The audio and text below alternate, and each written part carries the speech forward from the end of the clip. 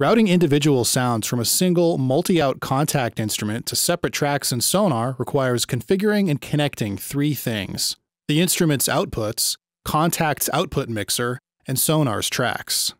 To start, I'll load the 16 output version of Kontakt into an empty project.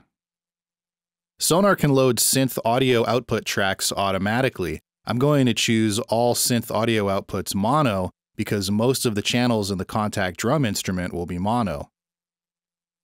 Next, I'll load Abbey Road 60s drums into Kontakt and make sure Kontakt's output mixer is showing. If it's not for some reason, just click the output button at the top of Kontakt. And I've got the output mixer's inserts hidden because I'm not going to be working with those at all. By default, Kontakt routes its audio through a single stereo channel, which is being split into two separate mono tracks in Sonar. And you can see that as I click on the various kit pieces. In order to send each kit piece to its own track in Sonar, I need to figure out how many mono and stereo channels I need, so I'll count off each mono and stereo channel in the drum kit's mixer page. So there are five main kit pieces, plus the three percussion pieces, the mono overhead mic, plus the stereo overhead and room mics, which makes a total of nine mono channels and two stereo channels. The first step in building Kontakt's output mixer in this case is to change its single default stereo channel to a mono channel. To do that, click the Output Assignment button in the channel to open its property page, and change the number of audio channels from 2 to 1. And I'll rename the channel since I have the window open. Click OK to make the change, and Kontakt will open a pop up window in short stating that the changes made to the mixer won't be available to the instrument Abbey Road 60s drums until the instrument is reloaded, which I'll do later. Now I need 8 more mono channels, so I'll click on Add Channels and choose a quantity of 8 and change the number of channels to 1 so that each channel is mono. Also, make sure that Ascending Output Assignment is selected. This will assign the outputs of the new channels in series from 2 through 9. Now I need to tell Kontakt on which channel to start this assignment, so I'll click on the tab that says Not Connected. This opens the list of available Kontakt outputs. This list of outputs can be confusing. The trick is to think of these as channels 1 through 16 from top to bottom, completely disregarding their names. I'll select the second channel in the list to start this series of channels on output 2, as output 1 is already in the output mixer. Click OK, and now Kontakt has 9 mono outputs, routed channels 1 through 9. Now it's time to add those two stereo channels. This time choosing a quantity of 2 and leaving the number of audio channels on 2 for stereo. Because these channels are stereo, they use two mono outputs each.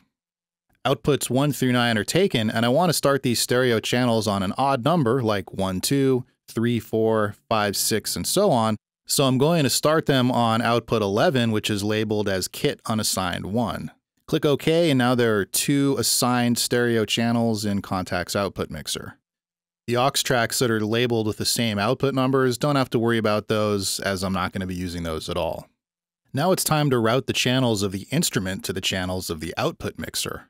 In Abbey Road 60s drums, the output assignments are on the bottom of each channel strip in the mixer page.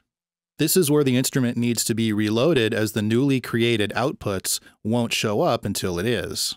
Now I can assign each individual kit piece to a separate output in Kontakt's mixer.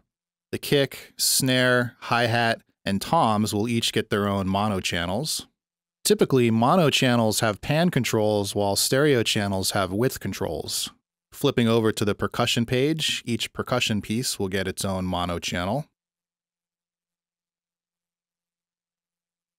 The mono overhead mic gets a mono channel as well. And I'll route the stereo overhead and room mics to the two stereo channels. Now I need to change two of Sonar's mono tracks into stereo tracks to handle these two stereo channels. I'll keep tracks 1 through 9 as the 9 mono tracks, and I'll convert tracks 10 and 11 into stereo tracks.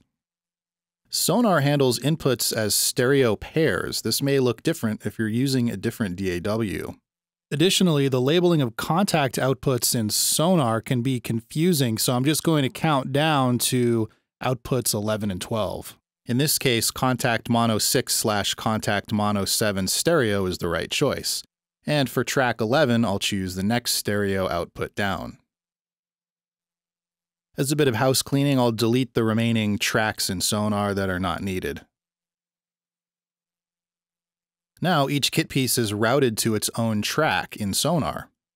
At first, it may appear that the kit pieces are not playing back through separate tracks.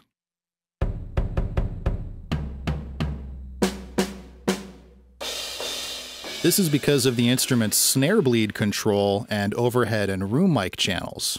To verify that everything is routed correctly, I'll mute the room and overhead channels in the instrument and disable the snare bleed. Now it's easier to verify that each kit piece is indeed routed to its own track in Sonar. And with the overhead channels muted, previewing the cymbals makes no noise as expected. Unmuting them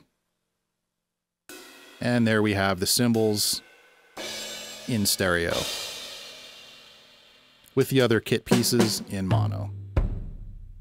Finally, it's well worth saving all of this hard work as a preset. Click on the Presets slash Batch Configuration tab in Kontakt and choose Save Output Section Preset As. Give the preset a name and click Save. Now the preset will show up at the bottom of the menu.